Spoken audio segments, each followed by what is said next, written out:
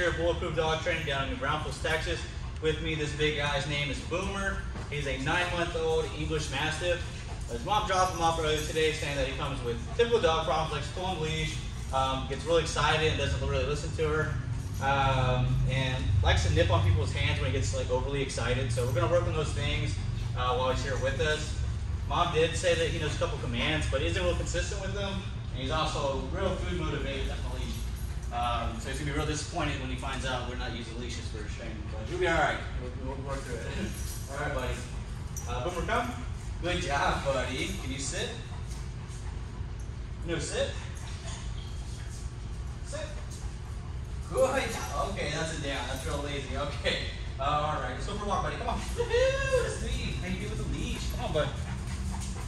Good job. This way, bud. This way. All right. This way, bud. Come on. Woo! Good job, bud. Good.